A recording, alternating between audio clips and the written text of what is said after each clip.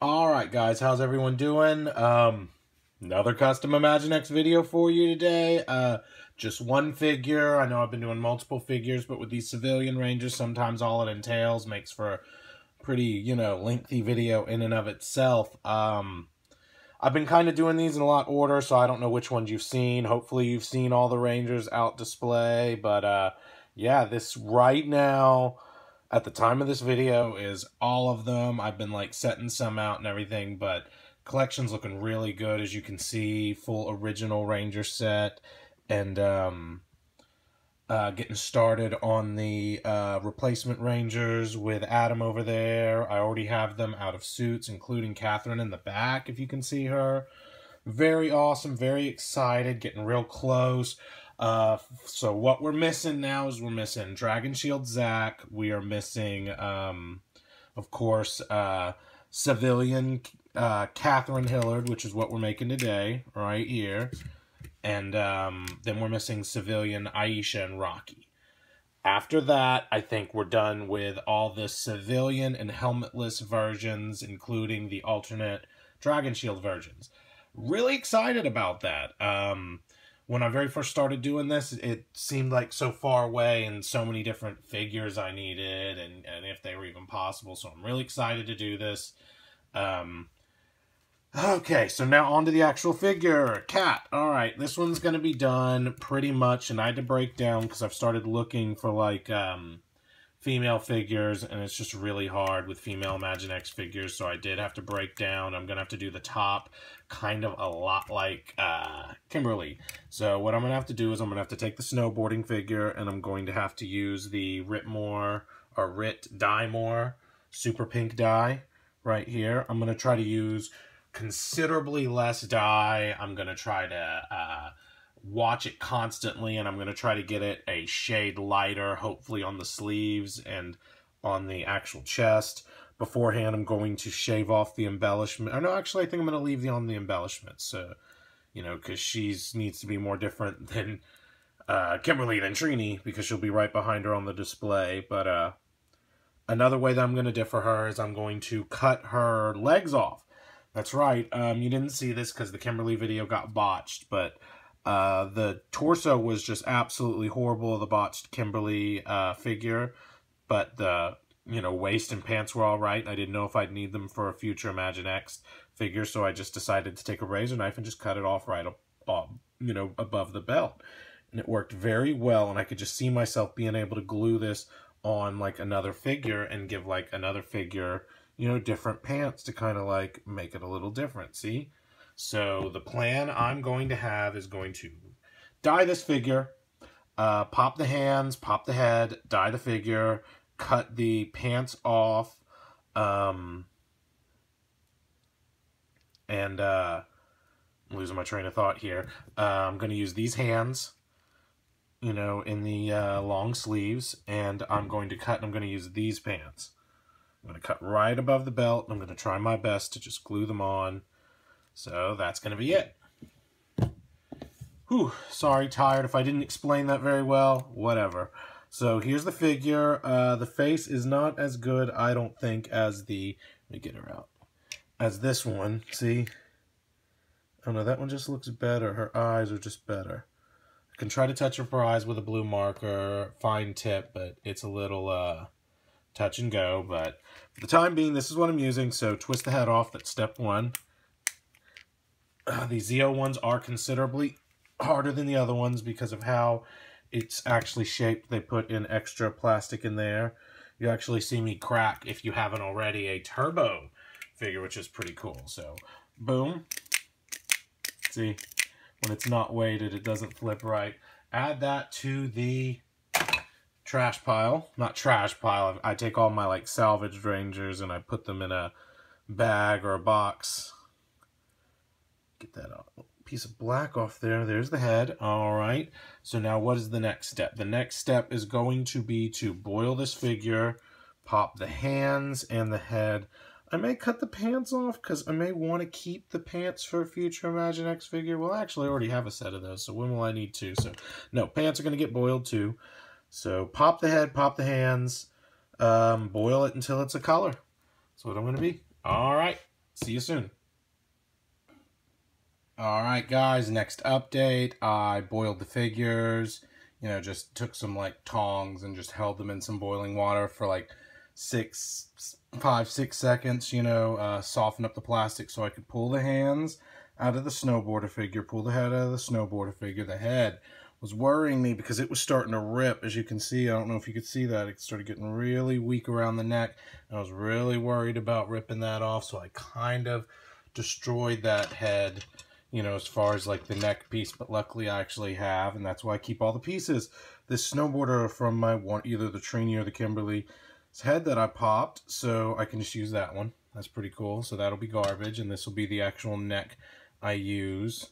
You know, if I don't end up using some other neck, because that is was weird when I did it with the ponytail. But anywho, um, so pop the hands, pop the head. Uh, that's the figure. It's going to be ready for paint. Uh, I don't know if I should cut the... Uh, I'm probably going to cut the pants off before the uh, thing, uh, dyeing it. So, I also boiled the figures off this little uh, submarine or whatever chick. Um, I'll just notice that that's actually the same, like, mold of the um, snowboarder. It's just painted different. Uh, that's cheesy. So, throw that in there for parts. Uh, so, we got the hands. Those little bad boys right there. We got the body. we got the head. Now, that's just the torso now. The pants are going to be this. So my next step is probably going to be to saw this figure in half and saw this figure in half. All right. All right, guys, another quick update. Just took a knife and just sawed this bad boy in half. Right at there. Gives me some nice black pants with some messed up shoes. But anyway, gives me just a white torso. That's what I got. Just a nice little piece to dye. I wish I could split this torso up. It's almost coming off, see? See what I mean? I may try to split this thing up and try to see, especially since I have it exposed at the bottom, maybe a lot easier. Um, I don't know. I don't know. I'm playing by ear right now, but uh, I also took the figure and sawed it in half. I actually didn't realize, like, I had this one to saw in half, but I actually had this one that I already took the head off and the hands, so um, I sawed it in half. Just took its pants. So, boom. I think I did pretty good. I left a little, like, if you could see, like, little tail on the end of there, but it kind of fits. Gonna try to do what I can to make sure that that fits. Maybe, I don't know. I'm going to work it. I'm going to do whatever I can. Uh, but hopefully that's it right there. And I just need to um, dye the um, torso a color. But, you know, like we've seen with these figures, the lighter, softer plastic dyes so much faster. So if I could pull those two apart, it would be really cool. We'll see what happens.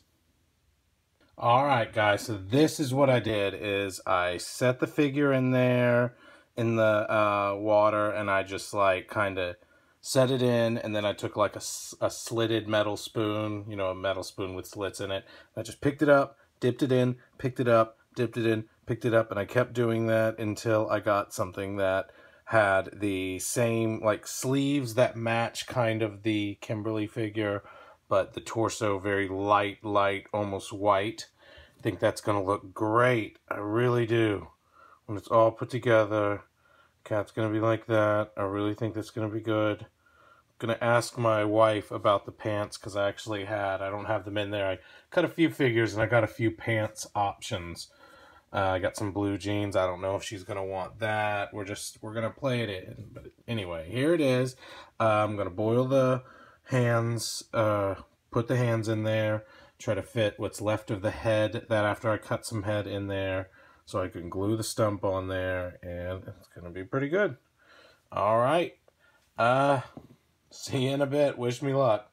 All right, guys, next step. This is what I got.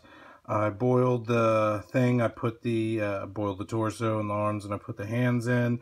Also put the head in. I forgot to do like an update, but I just went ahead and cut it as soon as I got it in there. It was really hard to get in there, so I guess I was just aggravated, so I just took it out and was like, ah! But uh, there she is. There's the pants.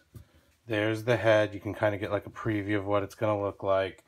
Um, It's going to look different than Kimberly for sure. I like that. Um, my uh, wife picked out the pants. She had some blue jeans to choose from. One's going to be probably used for Aisha if I can ever figure out the logistics of that figure. But that will be for another time. Right now, next step is going to be to go ahead and glue this down right there as best as I can get. And uh, then it's going to be to add the head. All right, see you in a bit.